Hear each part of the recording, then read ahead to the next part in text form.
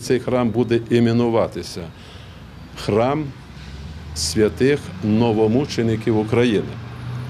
А божественна назва, тобто народна, людська, храм Небесної Сотні, новомученики, які боролися за свою державу, за незалежність, за свою країну, вони можуть бути навіть не зачислені до ліку святих.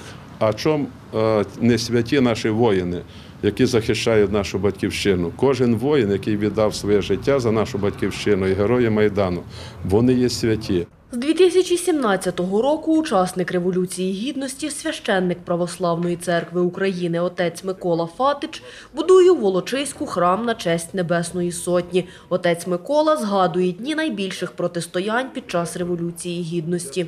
Я особисто десь, знаєте, стояв між Беркутом і нашими мітингувальниками і старався робити мир, щоб не було ніякої бойні, щоб ніхто не гинув, щоб ніхто нікого не калічив. Але, на жаль, так було, знаєте, коли поїду додому, десь там привести себе в порядок на сутку, от, і бачу біда, і їду оп'ять же на Київ.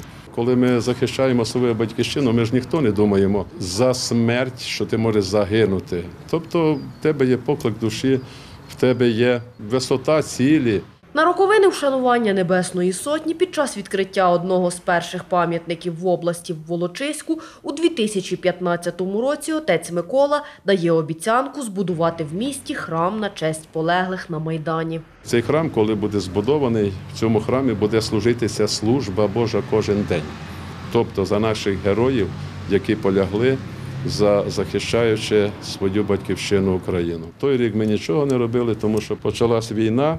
Цей рік все-таки ми хочемо вже з весни зовнішні роботи закінчити. Цей храм насправді він і дуже гарний, дуже красивий, особливо його архітектура. Людям дуже подобається. Священник говорить, вірить та сподівається, що будівництво храму прискорить перемогу України у війні з Росією. Діана Колесник, Олександр Горішевський, Суспільне новини, Хмельниччина.